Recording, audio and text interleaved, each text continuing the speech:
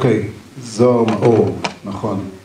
מרצה להיסטוריה כללית בבר אילן, ערך את הספר גבילים נשרפים ואותיות פורחות, שמכיל את כתבי השואה על הרב שזך, שייסד וניהל את מרתף השואה עד לתפילת הרוב במלחמת השחרור. נושא ההרצאה יהיה הקשר בין הפעילות של הרב שזך במרתף השואה וההגות אודות השואה. בבקשה. זה נוח לך פה? או שאתה רוצה להגיד? אותו באמצע. חבל ללכת לפינה.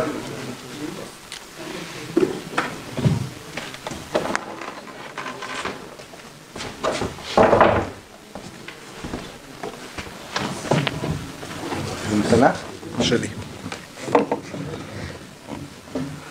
ערב טוב, כל הכבוד למי ששורד פה עד הסוף. דמותו של שזך מתייחדת בכך שהוא משלב בין הגות על השואה לבין פעילות להנצחתה במרתף השואה. אני חושב שזה, העולם הרבה פעמים מתחלק לשני סוגי אנשים, אנשים שחושבים ואנשים שעושים, אה, אנשי הגות ואנשי דמיון ו- ו- ומוזיאונים. ובהרצאה הזאת שלי ננסה כאילו להציג את דמותו המיוחדת של שזך כאדם שמשלב בין שני העולמות האלה. ההגות וההנצחה אצלו לא מנותקות זו מזו, אלא מזינות זו את זו. מרתף השואה מעוצב לאור תפיסתו ההגותית את השואה, וזו בתורה מתעצבת, מתגבשת, מתוך הפעילות השוטפת והיצירתית של המרתף והר ציון שבו הוא ממוקם. את הסיפור הזה אני אספר בעזרת הספר שנמצא שם בחוץ, אני לא מתבייש לעשות לו קידום מכירות, אה, כי קידום מכירות אה, הוא בעצם לאוסף מאוד מאוד נדיר ומיוחד של הגיגים וחוויות על השואה ששזך רשם מפי הניצולים. וגם אנשים שהם חוקרים יותר מובהקים ממני של התחום הזה אמרו שבאמת יש פה משהו מאוד מאוד מיוחד ומרגש, איזשהו תיעוד ככה חי, בועט, כואב, אבל גם מלא באמונה של ניצולים בהשואה שהוא אסף. בספר גבילים נשרפים ואותיות נשרפ... פורחות שערכתי יחד עם אשתי נעמה שיותר מומחית ממני במחשבת ישראל וגם בשותפות נחמה ביתו ואני באמת רוצה להודות לנחמה וגבי שראו אותי ראוי להפקיד בידיי את החומרים המרגשים האלה.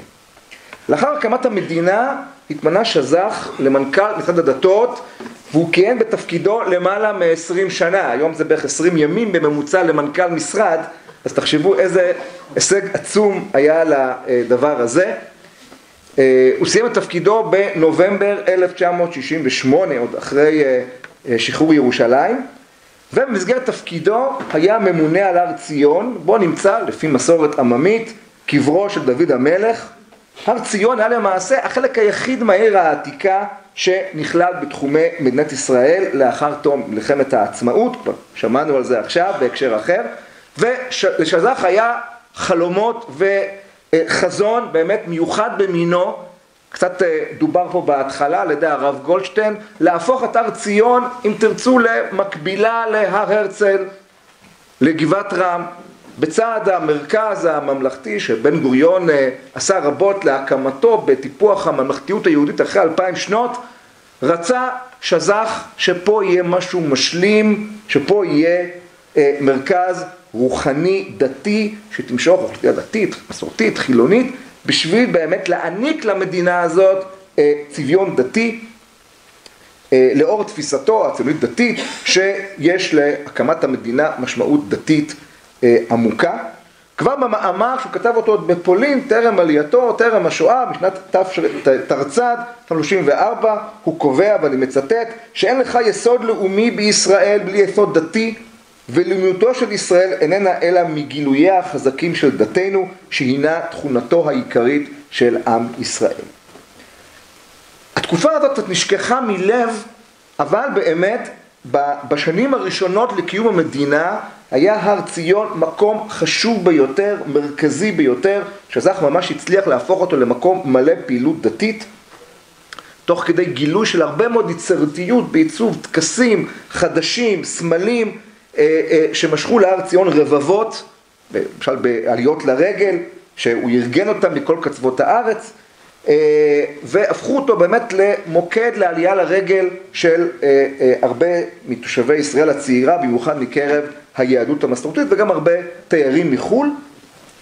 שני ביטויים ממש מתוך רבים למרכזיות של המקום הזה, גם העובדה שפה בהר ציון נפתחו אירועי העשור למדינת ישראל וגם העובדה שהרבה לבקר פה נשיא המדינה השני, יצחק בן צבי, ואפילו הוקצה פה ממש בקרבת מקום אה, אה, ליד קבר דוד, אה, חדר שנקרא חדר הנשיא.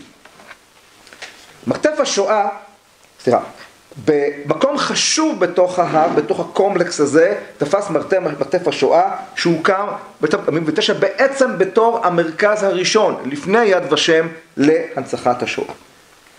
מרתף השואה הפך תחת הנהגת שז"ח למוקד של הנצחת השואה במדינת ישראל הצעירה. האירועים שנערכו בהר ציון להנצחת השואה ובהם השתתפו גורמים ממלכתיים בכירים כמו ראש עיריית ירושלים, חברי כנסת, שרים, נשיא המדינה, אה, אה, אורחים מכל העולם, משכו רבים וממש כמו שהיום מגיע לארץ איזשהו אדם חשוב, חבר סנאט, ראש מדינה, אז ברור שבלו"ז שלו ביקור ביד ושם זה חובה, ככה באותו, באותו אופן הגיעו המנהיגים האלה לפני הקמת התבססות יד ושם פה למרתף השואה. מרתף השואה משך אה, ניצולי שואה רבים, ומעניין שלא רק מקרב אה, יהדות אירופה, אלא גם מקרב אה, עולי צפון אפריקה, שבחלקם הגדול לא עברה עליהם כוס התרעלה, וכפי שהראה החוקר אלכס לבון, בניגוד למקובל בהנצחת השואה בתקופה הזאת, מרתף השואה הנציח גם את השואה בקהילות המזרח. כמו שכבר נאמר פה מקודם, על ידי אה, דוקטור רובינסון בהקשר אחר, בחצר המרתף וגם בתוכו הוצבו מאות מצבות לזכרה של קהילות שונות שנחרבו בשואה והדבר הזה התאים באמת לתפיסת ההנצחה בתקופה הזאת שהיא הייתה בעיקר קהילתית כמו שכבר תואר מקודם. ובאמת לפי העיתונות אנחנו יודעים שבשנות החמישים והשישים המוקדמות ממש בכל שבוע ואפילו לפעמים בכל יום התקיימו שלוש או ארבע אזכרות לקהילות בהר אה, והוא ממש היה מרכז שוקק להנצחת השואה אבל באופן מסורתי אזכרה, אמירת תהילים, קדיש, לימוד משניות לזכר, לזכר הנספים, הרבה מאוד נרות נשמה.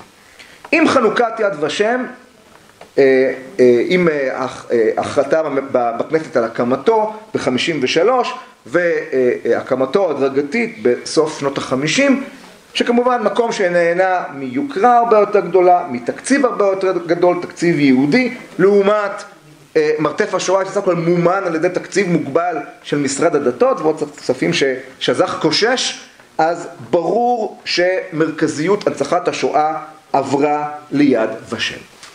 הנהלת יד ושם הייתה מסויגת מאוד מאופי ההנצחה במרצף השואה, כמו שכבר ציינו החוקרים דורון בר ואחרים, המאבק בין מרתף השואה, מרתף השואה לבין יד ושם היה בעצם ביטוי להתנגשות בין שתי תפיסות הנצחה שונות, בין א', ראיית השואה בהקשר לאומי ביד ושם, מה שבא לידי ביטוי בהצמדה בין אה, אה, אה, יד ושם, מקום ההנצחה של השואה, ל...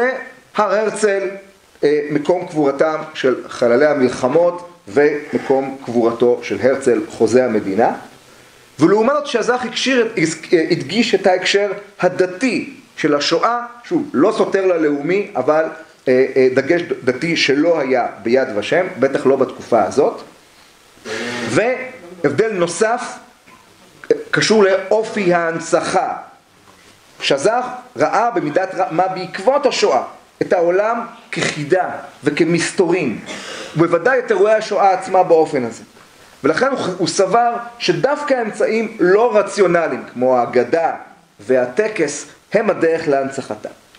ראשי יד ושם לעומת זאת הדגישו את חשיבות המחקר המדעי, התיעוד אה, הקפדני והאובייקטיבי של השואה ולכן התאגדו מאוד לאופי הלא רציונלי והאגדי שהוביל שז"ח וגם שז"ח לא אהב מה שנעשה ביד ושם וכתב, אני מצטט, יד ושם מתרכז יותר במדע השואה מאשר בשואה עצמה. הדבר הזה מתכתב עם תפיסתו הכללית על החשיבות של הרגש והדמיון בכלל בחינוך, ולא מעט מכתיבתו בכל מיני הקשרים נובעת מהפולמוס שניהל עם התפיסות הרציונליות מדעיות שביקרו את עמדתו. חשוב מאוד להדגיש ששז"ח מעולם לא חשב שאין חשיבות ביד ושם, הוא חשב שזה מוסד חשוב ביותר, אבל חייבים להשלים אותו בממד הדתי, בממד היותר לא רציונלי וטקסי שנמצא ב...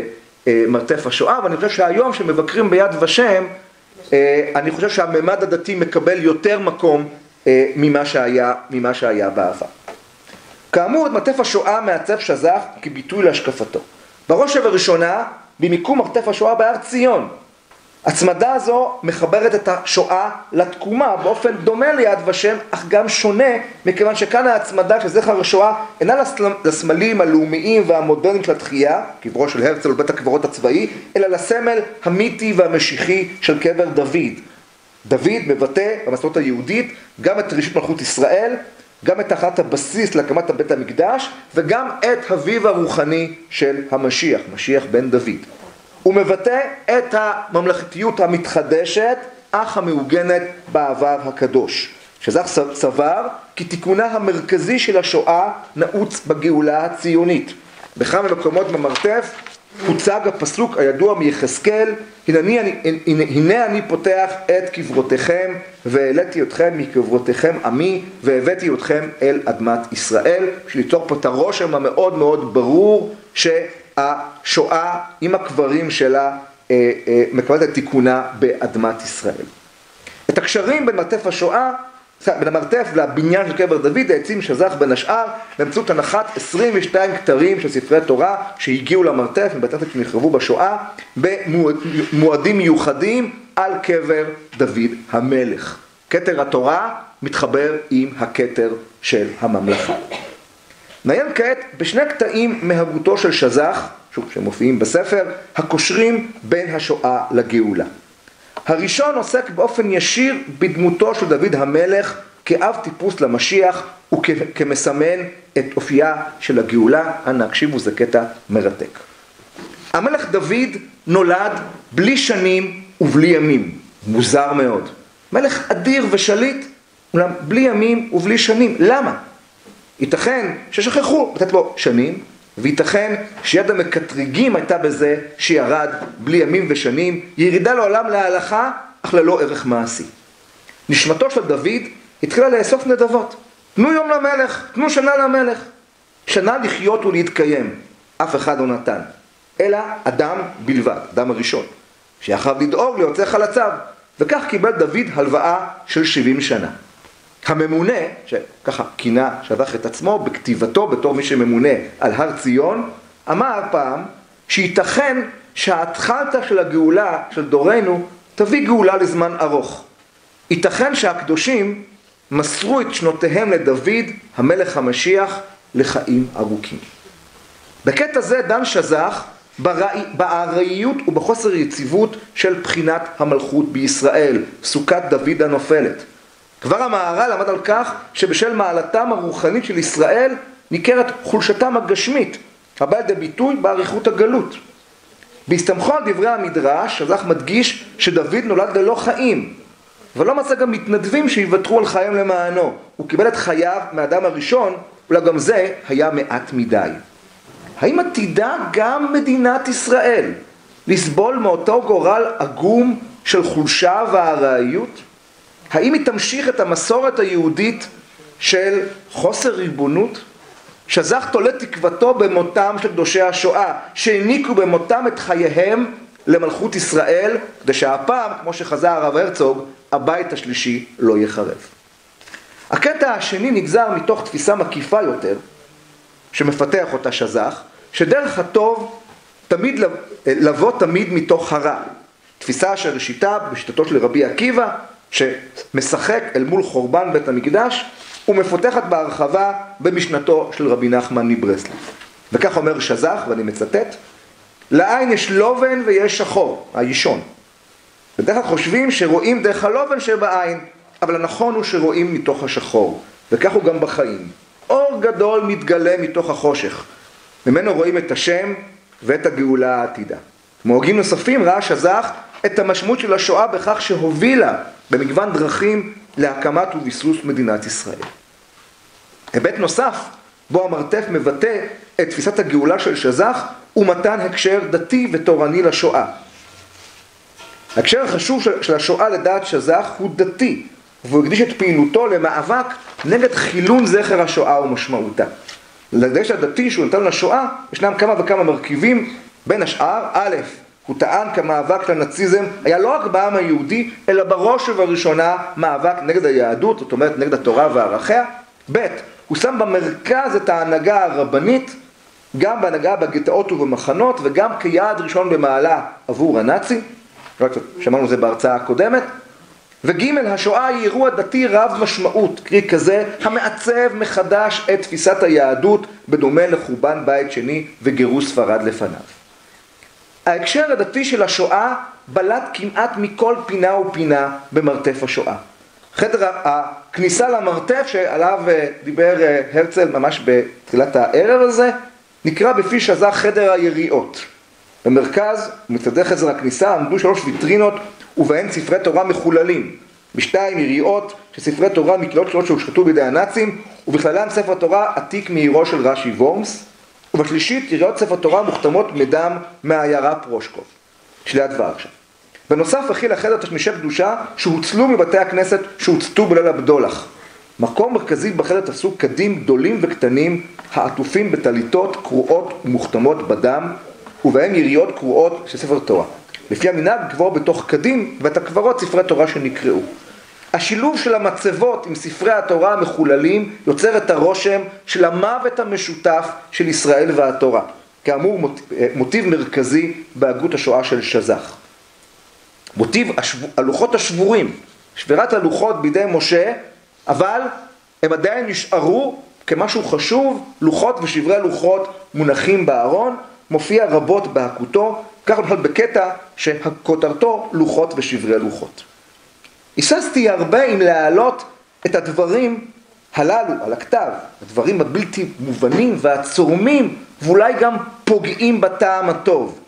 התלבטתי הרבה והגעתי למסקנה שיש צורך לפרסמם. המסקנה יותר נפשית מאשר הגיונית, וייתכן שערערו עליה. קשור אני לחומר בלתי מובן זה, ואין ביכולתי להשתחרר ממנו. ואני שומר, אותי, שומר אותו בפנקסי, אחד הדברים השלמים, והולך איתו כמו שעם ישראל הלך במדבר בשני ארונות, ארון הלוחות השלמים וארון הלוחות השבורים. הלוחות השבורים הם הביטוי לדעת שזך לתורה הקרועה, לתורה שנקראה אבל היא לא חסרת ערך. גם מתוך הדברים הכואבים והבועטים שאתם מוזמנים לקרוא אותם בספר. אה, אה, אה, הלא פשוט הזה, גם הם תורה חשובה שצריכה להישמר בצד האמירות הפשוטות והתמימות והרגילות שאולי אותן אנחנו יותר רגילים לשמוע. ליבו של מרתף השואה היה בחדר השמאלי, חדר קטן וצר ובו ויטרינה שהכילה 31 צנצנות גדולות ובהם אפר שהובא בשנת 1949 מאוסטריה על ידי שמעון ויזנטל ולאחר פולמוס ממושך נקבר בהר ציון והיה הבסיס להקמתו. במרכזו של חדר זה עמדו השרפה וההשפלה. מעל הוויטרינות שבהם האפר עמדה ויטרינה קטנה יותר ובה היו דחוסים מכל של גז ציקלון ב' וסבונים שלפי דעה שהייתה מקובלת אז, היום סוברים שהיא לא נכונה, הוכנו מגופות של יהודים. בחדר הוצבו חלקי עץ ואבן למחות ההשמדה והקיר המרכזי של החדר היה בנוי תאים תאים בצורת תאי המשרפות. הפסוק שקבוע מעל הצנצנות מבטא את הרושם שאותו ניסה שזך ליצור. והרים את הדשנה שתאכל האש על המזבח ושמו אצל המזבח. הוא ביקש לשלול את הביקורת שרווחה בארץ על הפסיביות של היהודים בשואה ולהפוך את הקורבניות למעלה באמצעות הענקת הקשר דתי. כמו שכותב שזך ביחס לענת הכבשן שהייתה במרתף, לסמל את סבל ישראל העולה ככבשן מימי היהודי הראשון אברהם אבינו דרך מוקדי עולם עד כבשונות ההשמדה של דורנו. רעיון זה מפותח בכתיבתו של שז"ח על השואה כמו בקטע הבא. בתפיסה הדתית ראו את הנכנסים לתאי הגזים ולמשרפות כעולים על המזבח והיהודי הדתי שנשרף ראה את עצמו וכך ראו אותו כקורבן עולה, העולה כולו להשם. אחרים אף הרחיקו לכת וראו את כל החיים במחנות שבהם הלכו וכלו מיום ליום כמעשה קורבן, קורבן חי. ומעשה ברב אחד שהגדיל את זכויותיהם של אנשי המחנות כמעלה מעלה ואמר שלוש דרגות יש במביאי קורבנות. אחד עומד הלכות קורבנות, הוא מקיים את הלימוד במקום הקורבן, אחד בשמה פרין שפתנו, למעלה ממנו הוא מביא את הקורבן לכהן ומוסרו לעבודה, ולמעלה ממנו הוא מביא את עצמו כקורבן ועושה בעצמו ועם עצמו את עבודת הקורבן, והוא איש המחנות והוא למעלה מכולם. השקפה זו שראשיתה ברעיון הקורבן הסתעפה להרבה גילויים דתיים דומים ונעשתה לרעיון יסודי במחשבה הדתית שבחיי המחנות. מוטיבים דתיים נוספים שהיו במרתף השואה היו הפיכת אחד החדרים לבית כנסת בו נערכו אזכרות. בחדר זה הושמו מעיל ותוף שנעשו מיריות ספר תורה וסידורו של ברלה. רצועה ועליה אותיות א' ב' ששימשה כסידור לילד במנזר. מיקום פריטים אלה בבית הכנסת לא נועד רק להדגים את מסירות הנפש על קיום המצווה, המצוות ואת המאבק לנאצים בתורה, אלא גם לאתגר את התפיסה הדתית הרגילה ברדיקליות העולה מהשואה, כפי שבולט באגדות שרקם שזך מסביב לפריטים, לפריטים אלה. בסיפור, סידור, סידורו של ברלה, אה, מתואר ברלה בסיפור מעין חסידי, בתור ילד שמושם במנזר ואביו מצווהו, ואני מצטט, יהודי תישאר בלבך ובנשמתך, תהיה יהודי, תיזהר שלא ירגישו בך שאתה יהודי, לא תסכן את עצמך. מצוותך כיום לחיות ולהתקיים, תהיה יהודי אילם. ברלה מתפלל באמצעות כתיבת האותיות האלף-בית על נייר וזריקתו לשמיים כדי שהקדוש ברוך הוא ירכיב ויצרף את אותיות התפילה. בנש הזך אין זו רק יהדות שבדיעבד, אלא ביטוי למהפכה התיאולוגית שהשואה יוצרת, חיי היהודי עצמם הפכו להיות לקדושים, ואני קורא עוד קטע מאלף. הקדוש ברוך הוא אומר לישראל, הלוואי אותי עזבו ותורתי שמרו. ובמציאות של השואה מתקיים ההפך, את תורתי עזבו ואותי שמרו. אולם על ידי זה ששומרים עליו נהפכו כל החיים לחיי תורה ולמצווה. הכל נתקדש במצוות קידוש השם. ועל זה נהפכו כל החיים שבמחנות לחיים קדושים. התמלאו בתורה ובמצוות. וכל השלדים שהסתובבו במחנות המוזלמנים האטומים נהפכו לגיבורים, גיבורים המקדשים שם שמיים. השריד הוסיף, במחנות שבהם הייתי לא ניתן לקיים מצוות, וחיים היו חיי עבדים. אסירים נולים למוות, חיים חילוניים של חולים כרוניים נטולי תקווה. וביחד עם זאת, הייתה בהם קדושה מסוימת. מצוות התורה לא היו, אבל קדושתן הייתה בכל החיים. כך הרגשנו וכך היה. החילון נתקדש. הגותו ויצירתו של שזח בנושא השואה לא מעצבת רק את פעילותו במרתף השואה, אלא גם מתעצבת על ידה, כך למשל בקטע המטלטל הבא. הוא ראה הכל, כל מה שעלול להתהוות. הוא ראה את חבלי המשיח, האיסורים של כל הדורות, הגזרות וההשמדות במחנות ותאי הגזים, הגטאות והמשרפות. את כל הימים הרעים של מלחמת גוג ומגוג, ארמילוס והשמדי. הימים הללו נקראים אצלנו בשם הימים הרעים, ומלווים את הגאולה, והוא ראה אותם. ולא רק שראה, אלא גם נתלווה אליהם, הלך בהם. נתנו לו מלווה בדרך. בהתחלה היה זה מלאך. והוא, והוא התערב בכל הדורות והשתתף בצער ובכאב ובמאבק, סבל את סבלם. הוא ראה את המשיח פצוע, כולו פצע חבורה ואין בו מתום, שהוא שוכב בסוף העולם והוא כבול בחבלים, מאות חבלים, שלשלאות של ברזל כמלך אסור ברהטים. שלא ירים ראש, שלא יזקוף קומה ולא יעשה פסיעה וירד לעמו חלילה לפני הזמן. הוא קפץ לקראתו והוא התחיל להתיר את חבליו, לשחרר אותו מהשלשלאות, לשחרר אותו שיקדים לבוא. התיר קשרים וזה לא הועיל. תכף כשהבטיח להתיר קשר, הסתערו המחבלים בזעקה והוסיפו קשרים על גבי קשרים. הוא מתיר והם קושרים. ובכל זאת לא נלאה, והוסיף להתיר בלי סוף. ובינתיים הלך בדורות דור דור וחומסיו, ושהגיע לדור האחרון, לימי השואה, פלצות אחזת הוא, והוא רעד כולו, אחזו פיק ברכיים, ולא יכול להמשיך וללכת עם מלווהו. הביאו המלווה לאושוויץ, בירקנאו, ברגן בלזן, וראה את המחנות הענקיים המשתרעים על פני מרחבים ובהם בתי עינוי וגסיסה לאחיו צדיקים וישרים, משרפות לגופותיהם ומצברי, ומצבורי אפר שנשאר מהם, התעלף ונפל. הקים אותו המלווה ואמר, מהר מהר, עוד רבה הדרך לפנינו. שאל אותו, איפה האלוקים? האם הוא כאן? הוא בכל מקום. אמר לו המלווה ומיהר אותו ללכת. המשיך ללכת בדרך הדורות, וראה דברים נוראים, מנועי נפש והגוף, שאין אותם על הדעת, ונשמתו כמעט שפרחה ממנו, התחזק והמשיך. אולם כשהגיע לאחת המשרפות, וראה המוני ילדים, ילדים קטנים, תינוקות של בית רבן, עם עיניים נבהלות, כשהרשעים מכים אותם ודוחפים אותם למשרפות, ומצווים עליהם לשיר והם צועקים ושרים אבא, אבא, ואין מי שיעזור. אבא עומד אין אונים מרחוק ואינו עוזר. באותו המקום ליווה אותו השטן בעצמו. כשהגיעו למחנות, הסתלקו המלאכים המלווים, לא רצו להיכנס למחנות. הצטרף אליו השטן להראות לו, והוא השמדי, הוא עמלק, הוא מלאך המוות, עם אלפי העיניים החרבות וקיתונות של מרה. הוא ליווה אותו. לפתע ראה הרב את השטן, והוא מתכווץ ומתמעט ונסוג אחורנית. הסתכל עליו וראה אותו בוכה, הוא בכה, השטן בכה. אינני יכול יותר, אינני יכול, צעק וברח. פרחה נשמתו של הרב, והתחיל אף הוא לרוץ ולברוח. רץ ורץ ונפל אין אונים על סלע ההר. הסיפור הזה הוא כנראה חלום, חלום ששזך חולם אותו, ככה אני חושב. שמצד אחד מחבר את השואה לסבל של הדורות, אבל גם מציג אותה כמשהו שאפילו השטן לא יכול לעמוד בו. אנו רואים כאן את, את, את ההשתקפות של ההקשר המשיחי של השואה, הבא לידי ביטוי במקומו של מרתף השואה בהר ציון. גיבור הסיפור הזה הוא רב, והוא גם זה שמנסה להתיר את כבליו של המשיח. זאת בהתאם למרכזיות ההנהגה הרבנית בתפיסתו של שזך.